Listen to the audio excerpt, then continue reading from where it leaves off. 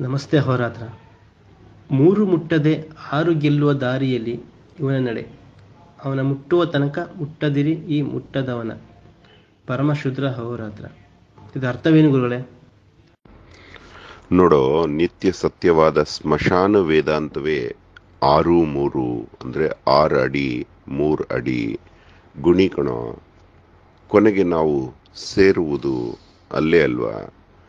ತಾಯಿಯ ಗರ್ಭದಿಂದ ಹುಟ್ಟಿ ಬಂದು ಭೂಗರ್ಭ ಸೇರುವ ಈ ದಾರಿ ಮಧ್ಯೆ ಆರು ಮೂರು ಕಟ್ಟಿ ಮೇಲಕ್ಕೆ ಏರಿದವನು ಗಟ್ಟಿ ಅಂದ್ರೆ ಆಧ್ಯಾತ್ಮಿಕವಾದ ಅರ್ಥ ಬರುತ್ತೋ ಮೂರು ಅಂದ್ರೆ ಮೂರು ಗುಣಗಳು, ಸತ್ವ, ರಜಸ್ಸು, ತಮಸ್ಸು, ಕಾರಣ, ಶರೀರವಾಗಿ ನಮ್ಮನ್ನ ಬಂಧಿಸಿರುತ್ತೆ.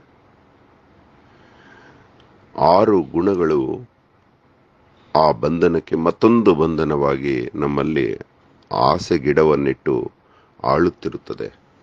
ಆ ಆರು ವೈರಿಗಳೇ ಕಾಮ ಕ್ರೋಧ ಲೋಭ, ಮೋಹ, ಮದ, ಮತ್ಸರಗಳು. ಹೀಗೆ ಒಳಗಿರುವ ಕೋಟೆಯ ಮೂರನ್ನು ಮುಟ್ಟದೆ ಯಾಕಂದ್ರೆ ಒಂದನ್ನು ಮುಟ್ಟಿದರೆ ಎರಡು ನಮ್ಮನ್ನು ದ್ವೇಷಿಸುತ್ತೆ. ಮಕ್ಕಳ ಹಾಗೆ ಮೂರನ್ನು ಮುಟ್ಟಿ ಮುಟ್ಟದೆ ಆಸೆಗಳನ್ನು ಕೊಂದು ಹೊರಗಡೆ ಬಂಧಿಸಿರುವ ಪಂಜರ ಆರು ವೈರಿಗಳನ್ನು ಬಗೆದು ಆಚೆ ಬರುವುದು ಮುಕ್ತಿ ಕಣ. ಆ ಕಾರಣ ಶರೀರ, ಸೂಕ್ಷ್ಮ ಶರೀರಗಳನ್ನು ಭೇದಿಸಿದ್ರೆ ಈ ಸ್ಥೂಲ ಶರೀರ ಸತ್ತು ಮಲಗತ್ತೆ. ಆಗ ನಾವು ಚಿದಾಕಾಶದಲ್ಲಿ ಲೀನವಾಗ್ತೀವಿ, ಅದನ್ನು ಮುಕ್ತಿ ಅಂತಾರೆ. ಹೀಗೆ ಅವನ ಮುಟ್ಟುವ ತನಕ, ಆ ಮುಕ್ತಿಯಾಗುವ ತನಕ ಮುಟ್ಟದಿರಿ. ಈ ಮುಟ್ಟದವನ, ಇವನು ಮುಟ್ಟದವನು ಯಾರು ಈ ಜಗತ್ತಿನಲ್ಲಿ ಅಸ್ಪೃಶ್ಯತೆ ಎಂಬ ಹೆಸರಿನಲ್ಲಿ ಮನುಕುಲಕ್ಕೆ ಅವಮಾನವೆಸಗಿ ಅಪಮಾನ ಮಾಡಿ. ಸಾಟಿ ಸೋದರರಂತಹ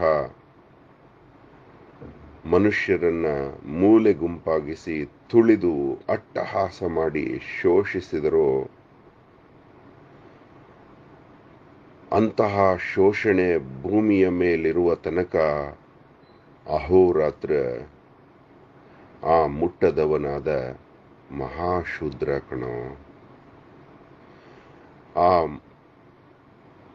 ಮುಟ್ಟದ ಸ್ಥಿತಿಯಿಂದ ಮುಟ್ಟುವ ಸ್ಥಿತಿಗೆ ಹೋಗಬೇಕೆಂದ್ರೆ ಈ ಭೂಮಿಯನ್ನ ಆ ಸ್ಥಿತಿಯಲ್ಲಿ ನೋಡಬೇಕು ಅಹೋರಾತ್ರ. ಅದು ನಿಜವಾದ ಮುಕ್ತಿ ಕಣ. ಹಾಗೆ ಬರೆದದ್ದು ಈ ಸಾಲುಗಳು. ಧನ್ಯವಾದ. ಅಹೋರಾತ್ರ.